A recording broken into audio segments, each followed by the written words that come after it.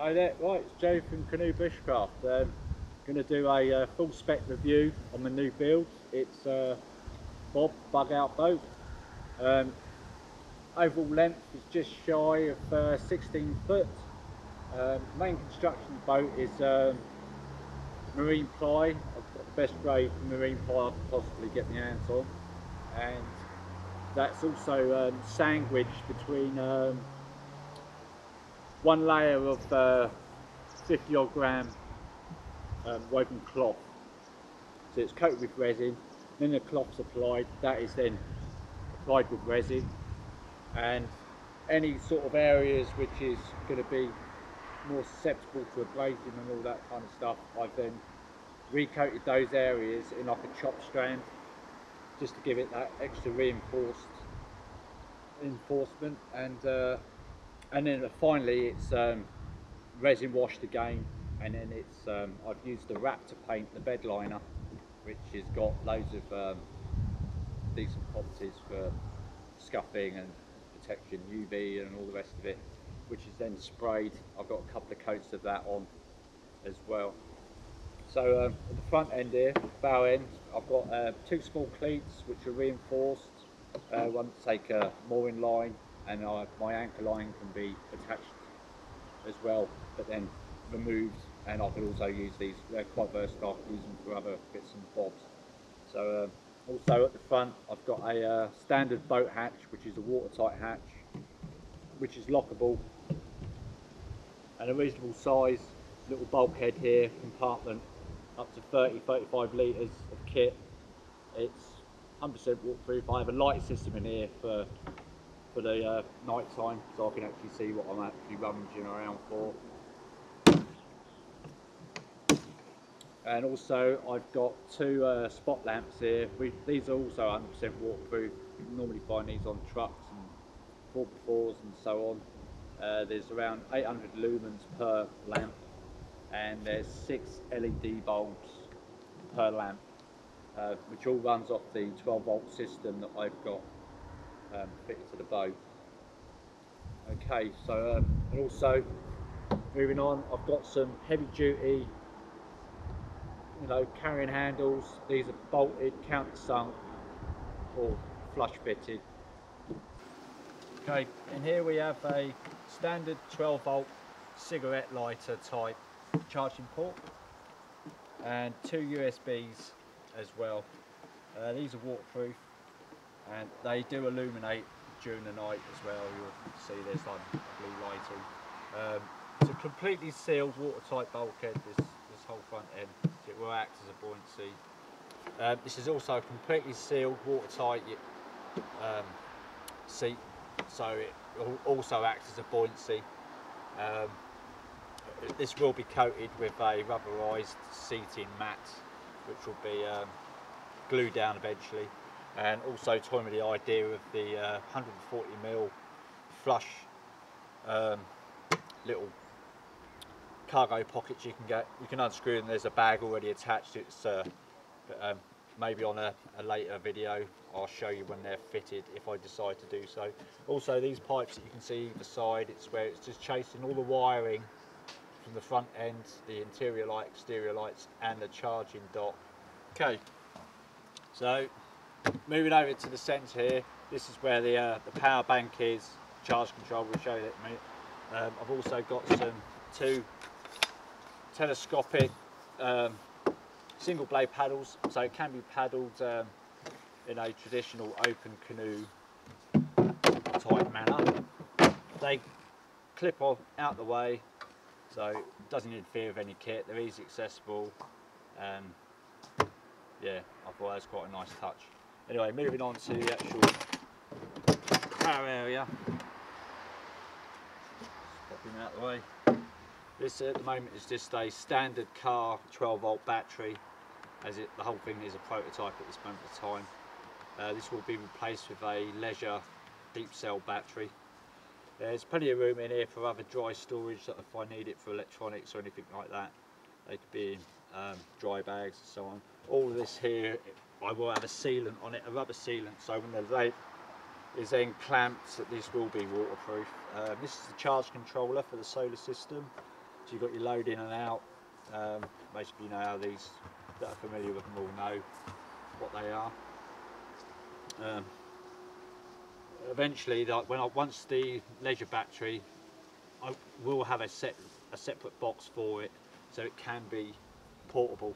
I can take it onto land and and use it for other applications. So there's the uh, the actual powerhouse of the boat at this moment of time. Which all seals down with these clips. Like I say, once the uh, the seals are fitted, this is going to have a much tighter and waterproof fit to it. As you can see, this is the rest of the piping which is coming down, feeding the wiring in. Okay. Um, running a 30 watt panel at the moment, which will trickle charge the 12 volt um, battery. Does that no problem at the moment. Um, ideally, this needs to be set a little bit higher, but um, I'm still playing with it, and I eventually want to replace it with the uh, the full flexible roll up type panels that you can get, um, which would just be easier for stowing and so on. I've got the, the rocker switches here. This is a waterproof system as well. I've got your standard 12 volt cigarette lighter type charger, same as the front end, and I've also got a double um, USB. And also on the actual charge controller, there's two more USB chargers there av available. The switches is basically this one here will be for the front flood floodlights. Um, the motor, even though you still have to turn on the motor at that end as well, which I'll show you. Um, interior lights, because I've got an interior light for inside here for the, you know, those for the evening time if I need to access anything, get any information off the charge controller, which will inform me how much juice is left in the battery. And this switch here turns these on and off all of the charging ports so I can always just have them completely turned off to save any kind of battery usage. Um, moving along, I've got split oars and the, the Rowlock system that I'm using, they clamp on and off so I can just, depending where I want to sit, if I want to sit in the centre or in one of the other seats, I can move them along.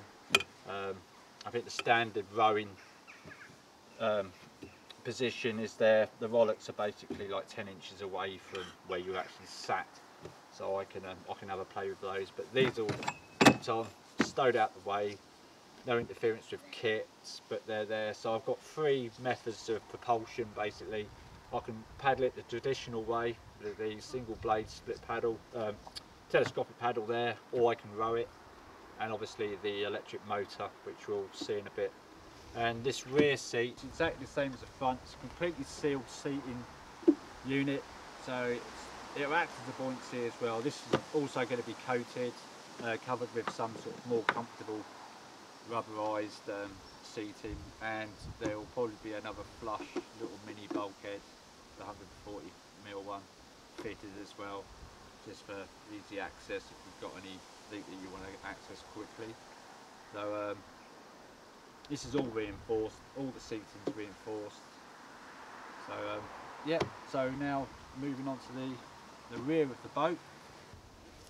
Originally it's identical to the front end but I've obviously had to cut a best part of a foot off of it just to um, fit the flat transom back in to take the actual motor.